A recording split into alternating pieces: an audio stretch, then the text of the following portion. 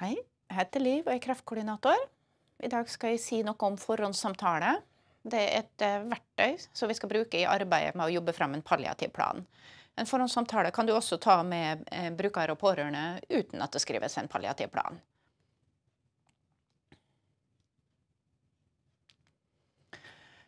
For å begynne prosessen, så må den som er ansvarlig sykepleier eller primærkontakt, ha en samtale med brukeren og pårørende, der de sier noe både muntlig og skriftlig. Da må vi si noe om hva en palliativ plan er for noe. Eh, hvorfor kan dette være nyttig for dem, og hva er det som står i en slik plan. Jeg bruker også å si noe om hvem som ser det.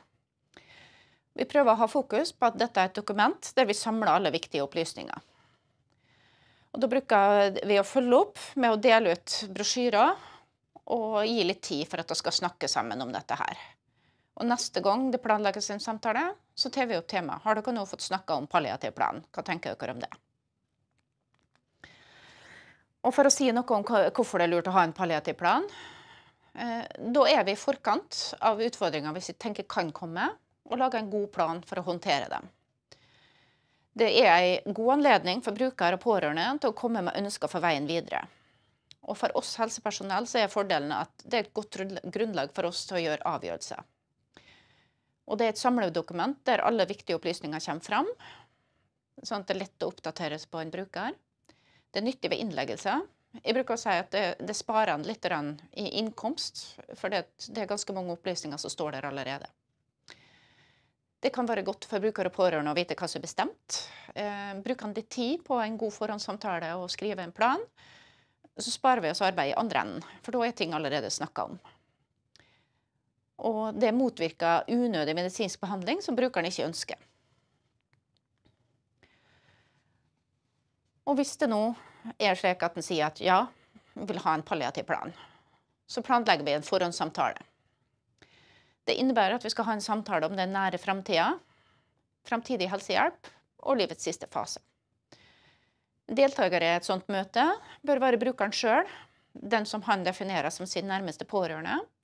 Hjemmetjenesten som skal bistå brukeren hjemme, gjerne primærkontakten. Noen ganger har vi med en palliativ team, noen ganger ikke. Fastlegen skal være med. Og andre fagpersoner som er viktige for brukeren, f.eks. kreftkoordinator, fysioterapeut, demenskoordinator. Og på sykehjem så er det ofte tilsynslegen, primærkontakten, bruker og nærmeste pårørende. Og Målet vårt med en sånn forhåndssamtale det er at eh, vi som helsepersonell skal få verdifull informasjon om hva brukeren ønsker, som gjør at det er lettere for oss å legge planer. Brukere og pårørende får anledning til å fortelle hva som er viktig for deres liv, hva ønsker og behov de har når det nærmer seg den siste fasen. Vi avklarer behov for medisinske avklaringer. Vi på en måte kikke litt inn spåkula og prøve å spå hva vi forventer av problem.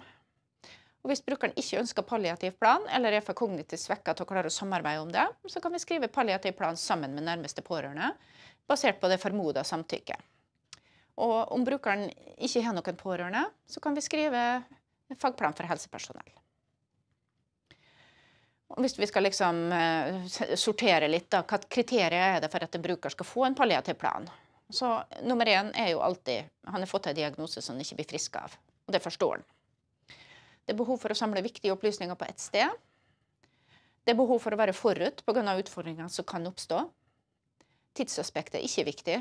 Eh, kan ha en palliativ plan over mange år. Brukeren er gammel og skrøpelig og har flere diagnoser. Da er det i hvert fall behov for en plan. Hvis vi skal legge til rette for en god forhåndssamtale, så må vi tenke at vi må ta den så tidlig som mulig i forløpet. Men brukere og pårørende må ha landa i den nye situasjonen og forstått hva det innebærer. Fordelen med å ha forhåndssamtale i hjemmet det er jo at det gir trygghet for dem. Vi kommer inn på deres arena. Vi er gjester. Vi har bilder på veggene av familie og barnebarn. Og det kan være god utgangspunkt for en innledende småprat. Ofte serveres det kaffe. Det oppleves mindre formelt enn når vi er på legekontoret. Og en suksessfaktor er at hensikten med samtalen den må være tydelig for både bruker og pårørende. Og Derfor bruker vi å dele ut invitasjon til forhåndssamtale i forkant. Den finner du inne i Compilo. Helsepersonellet må avklare hvem som leder samtalen, og alle bør ha lest seg opp på forhånd. Og når vi skal gjennomføre en, en sånn forhåndssamtale, så har vi først en kort innledning med hva er hensikten med dette her. Hva er en palliativ plan, og er det det vi skal snakke om nå? Bruker å starte med litt sånn generelle og åpne spørsmål, sånn at brukeren kan lede retninga videre i samtalen. Spiller du veldig ledende spørsmål, så vil det være du som initierer hva vi skal snakke om. Eh, vi bruker alltid å spørre om brukernes synspunkt på hvor aktivt han eller hun vil behandles. Men gjør det klart at det, er legen som tar avgjørelsen, men at det har noe de skulle sagt i forhold til eget sykdomsforløp. Samtalen må alltid tilpasses brukeren og situasjonen hans. Vi må være vare på reaksjoner, for det, det, er ikke alle som syns det er artig å snakke om sånne ting som det er. Det er ulik evne og vilje til det. Spør gjerne om det er noe de er bekymra for til brukeren og så stiller du samme spørsmålet til pårørende. Hvis det passer i samtalen, spør om de har noen tanker om hvor de vil være når de blir dårligere. Eller hvis, du, hvis de tåler at du er direkte, spør om de har noen tanker om hvor de vil være når de skal dø. Da vil eh, sykepleier og vernepleier dokumentere det som er sagt og bestemt i forhåndssamtalen, i en kladd til palliativ plan. Bruker og pårørende godkjenner det ikke-medisinske innholdet i planen, og fastlegen eller tilsynslegen godkjenner det medisinske innholdet i planen. Og når situasjonen endres, så må planen oppdateres. Det skal være et levende dokument som alltid stemmer med tilstanden til brukeren. Vi må derfor jevnlig sjekke ut i planen står det at du ønsker stemmer det fortsatt. Og så må vi passe oss for å skrive oss altfor mye ned i detaljer, for da lager vi et oppdateringsbehov. Jeg har laga noen spørsmål som kan ta opp og diskutere i personalgruppa i etterkant, for, for, å jobbe videre med dette med palliativ plan.